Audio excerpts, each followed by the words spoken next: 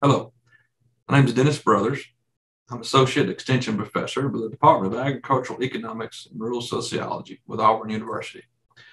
I'll talk to you today about managing a poultry loan.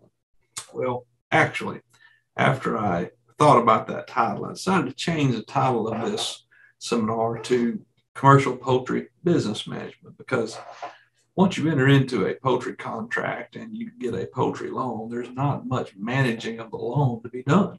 And that's one thing new growers need to understand.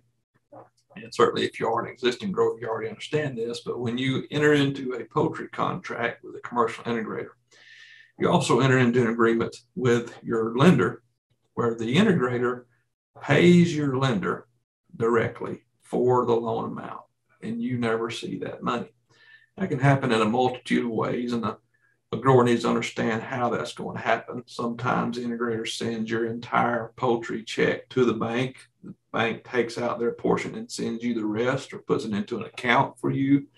Sometimes the integrator mails two checks, one to the bank and one to you. It's done in s- several different ways, and every grower should consider that when as they enter into this business entity. But so based on that, let me share my screen and we'll start our seminar, which I've called Commercial Poultry Business Management. The way I want to look at this is look at things that I've seen over the years and that I've gathered information from financial institutions, things that they have seen cause issues with growers starting a commercial poultry business. So we're going to call this three barriers to starting a successful poultry business. And they are one, an uninformed grower, or sometimes an uninformed lender. Also, misunderstanding the startup cost of a new business, particularly a new poultry business. And then lack of budgeting or financial discipline. So let's get started and talk about these issues. Number one, uninformed grower or lender. Well, the first question is Do you know what it means to be a contract poultry grower? Do you understand the business you're about to enter into? That the fact is, you will be required of when you have birds in the house for 24 7 management. Birds are always needing your management, need somebody to pay attention to what's going on. And you're going to have birds probably 80% of the year. So you're going to, it's, you need to have the ability to be on farm or somebody to be on farm. Sometimes that is a hired labor or hired management. Well, there are labor requirements. And those labor requirements and management requirements, while they are consistent across different types, you need to know what type of birds you're looking at at uh, starting your business, what, what kind of entity are you going to be a breeder grower or a broiler grower or a pullet grower? Because different types of birds require different levels of management, different levels of labor. And understanding that makes a difference to how you how you get into the business and what you're to expect once you're there. Do you understand how you be paid? Do you understand the cash flow? Different bird types get paid different ways. And so you need to know how that's going to work. Uh, and you also need to know what kind of uh, funds you will need and when to continue the business. Uh, if you're a pullet grower or a breeder grower, you get a, a fairly consistent paycheck. Uh, if you're a broiler grower, you get set number of paychecks that's tied to the number of flocks you grow and you don't get paid till after the flock. Well, you need to know how long that flock is. Am I going to be, is it going to be eight weeks between checks or 12 weeks between checks?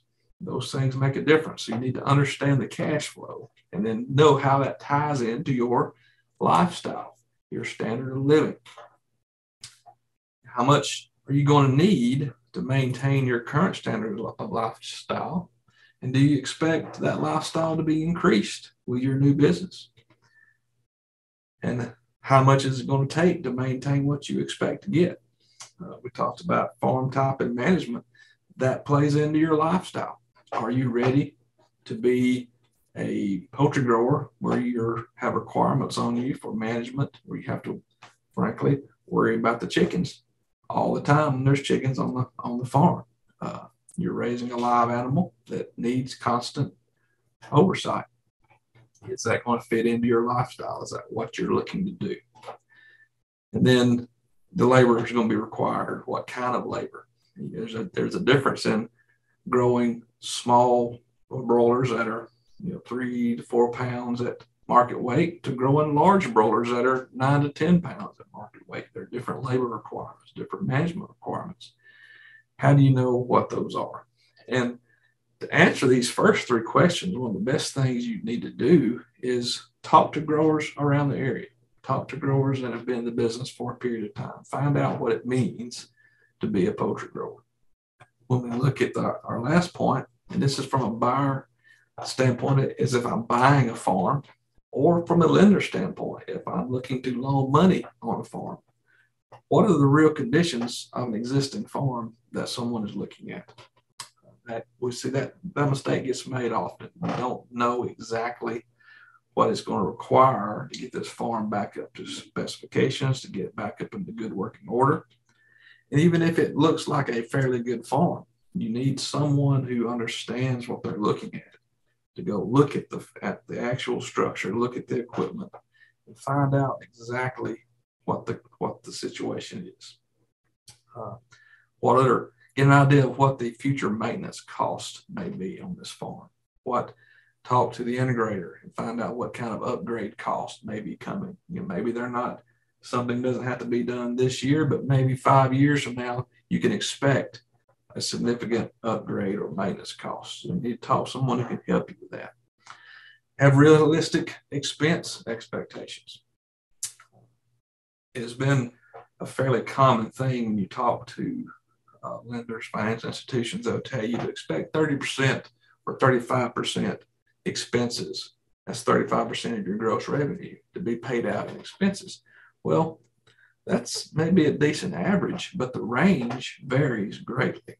You can look from newer houses can have expenses as low as 20% of that gross revenue. Some older houses may have expenses approaching 45 or 50% of that gross revenue. So the variance of that can be major and need knowing the condition of houses, having someone that looks at them closely can help you with that. A quick check you can do is just ask an existing the, the farm that you're buying, if it's an existing farm, is look at gross revenue. But look at it for longer than three years. A lot of times we'll see get the recommendation, get a three year cash flow. Well, that is not necessarily enough. You need to look, I suggest at least five years because one thing is you look at flock placement. If uh, if I get five flocks within the calendar year in year one, and four flocks in year two, and then five flocks in year five, I've got a skewed three-year cash flow average.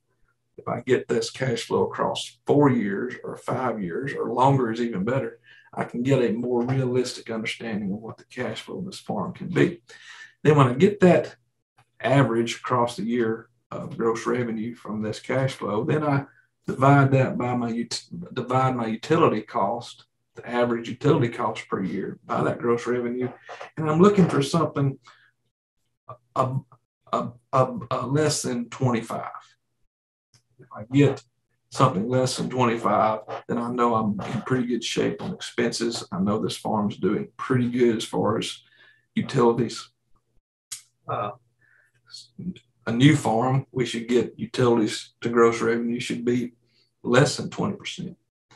If I if I evaluate the farm and my utilities to gross revenue is above 30, then that's something I need to look at. That could affect how much I'm willing to pay for that farm. So having a good realistic expense expectation and being able to analyze that can be paramount to making a good buying decision.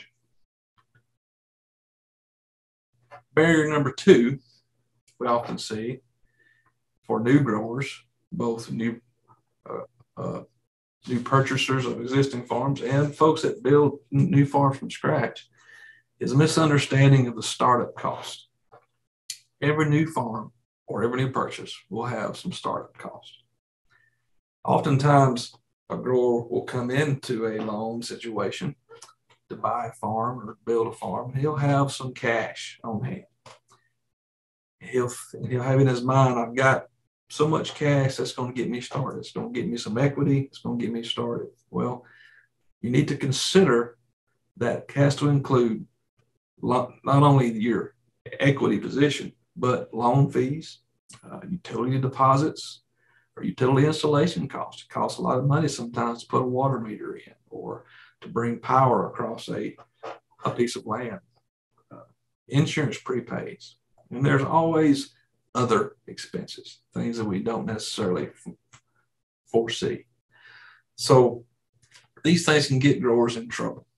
The problem that we're trying to avoid here is we do not want to go into the first year behind because we didn't have enough working capital and cash to float the business for the startup period. Let's give a quick example. Let's say someone's looking at a three million farm to purchase, a three million dollar farm purchase. And this particular grower, he has $300 in cash or equity to cover 90% of this loan. So he can get a 9% loan with a guarantee, right? So he thinks that's that's all he needs. But then there's $114,000 loan fee. Or and there's $54,000 in utility utility deposits and uh, startup cost, uh, new shavings, uh, new fuel, you know, fuel for the generator, all these kind of things start to add up. Plus, he needs at least one, maybe even two, according to the bird size, according to the flock length, according to the type of bird. He may need uh, more than that utility cost. He needs he'll have some utility bills coming due quite probably before he gets his first chicken check. So he needs that much cash over what he needs to secure the loan. So he needs, you know, in this case example, at least four hundred and seventy-three thousand dollars, not three hundred, just to get the business started on the right foot. And then if he needs any upgrades, that's additional money he may need to pay up front. So not calculating these in to the business loan or not calculating it into my working capital needs is important. Oh, by the way, rolling equipment. Am I going to need a new tractor? How if I'm buying a farm that comes with a tractor, is that tractor in good repair? Do I need to spend money? All those things add into the startup cost that may blindside you. You need you need to be cognizant of and make arrangements to cover them. Number three, this is probably the hardest one lack of budgeting and financial discipline. Nobody likes to hear the word budget certainly not financial discipline, but it's something that when you're in a poultry business, the successful growers will accomplish this and spend a lot of time and effort and energy making sure it happens. I would suggest that the successful operator, he have at least six months expenses and working capital at hand, maybe not on hand, but at hand, the ability to to easily uh, easily get that capital. And that's over and above his expected flock payments, expected loan payments per flock. So having some cushion, so to speak, or having the, uh, the ability to get some cushion can really save you from getting into a financial crunch, a financial catastrophe that rolls downhill. You may get a cold weather flock that is exceptionally cold. and You spend an extra exorbitant amount of money on gas on, on gas. Well, if you got to go into your credit card to pay for that gas, that's a bad situation. So, having some budgeting discipline, saving some money when you get that good flock check, don't spend it all. Save some of that money, put it back in a emergency fund, an operating capital fund, and have it at hand when those problems come, come up. Equipment breakdowns, litter, heating fuel, or just a bad flock what I see often is what I call paycheck shock. A grower has a good flock of chickens, things go well, finishes on top of the settlement sheet, has a good flock of hens that are laying a lot of eggs. He's getting a good check. And then he starts spending money. Often we you know call this buying, you know, buying toys or buying shiny things. The next thing you know, that bad flock comes, or that big heating bill comes, or that big maintenance bill comes, or equipment break, equipment breaks down. And now all of a sudden, I've got no working capital.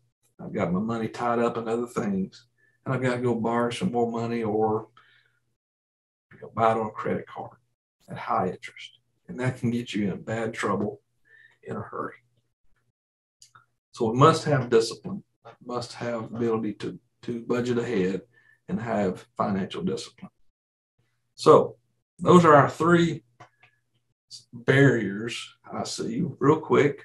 There's a lot more, but in our short time frame, I, I think those are our top three barriers I see and have seen over the years, and others have seen over the years, that being barriers to successful poultry farming, starting a successful poultry business. And I'll leave you with this time in the chicken house is money in your pocket. And this has been true for as long as I've been in the poultry business, which is over 20 years. And it will still be true long after I'm out of it. What we see in this picture here is the best controller platform in all poultry business. That's a bucket that you go and sit down on in your house and you look at your chickens and you watch what's going on and you spend time in the house learning about the animal that you're actually trying to raise. And you're able to see what's happening, see how they're reacting, make changes, do the right thing. You get a feel for what they're feeling. So, time in the chicken house is money in your pocket appreciate the time and good luck out there. And I hope you're all the success there is to starting your poultry business. Thank you.